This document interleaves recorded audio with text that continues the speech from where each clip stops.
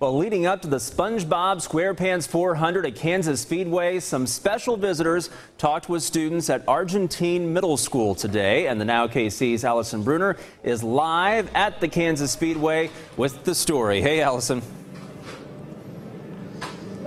Hey, well, I can tell you these students learn that NASCAR is far more than racing. But I want to show you something really cool going on behind me here at Kansas Speedway. Take a look.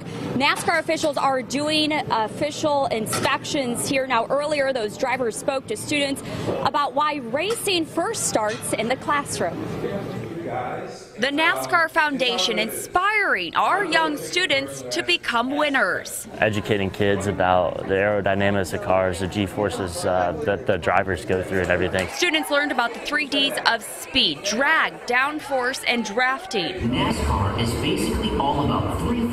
Math, Math was one of the major ones of the aerodynamics, the speeds of the winds, speeds of the car. It creates more friction between the tires and track. NASCAR making learning fun at Argentine Middle School. It's fast it's legal.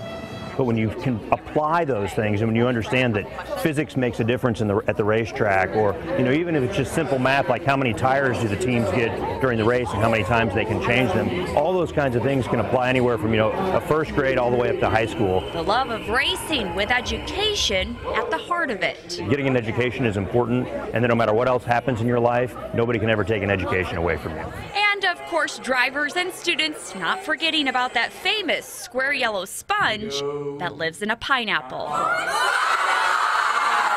I'm going to be in the number 11 SpongeBob SquarePants card. Kansas Speedway and NASCAR setting our kids up for the checkered flag. Start your engines.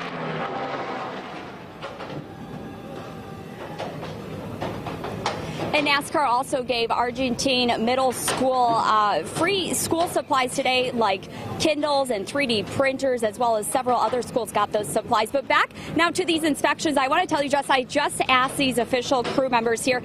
They tell me that if the uh, car is, is in good condition, it only takes them about four minutes to inspect one of these cars. It takes them about three hours to do all of the car inspections here at Kansas Speedway. Lots of fun out here. We will definitely join you uh, in another 30 minutes. Justin?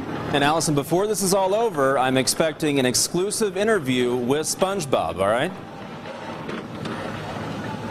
Of course, just for you, and of course, uh, our producer Jamie, who loves NASCAR, right? she sure does. Yeah, thanks, Alyson.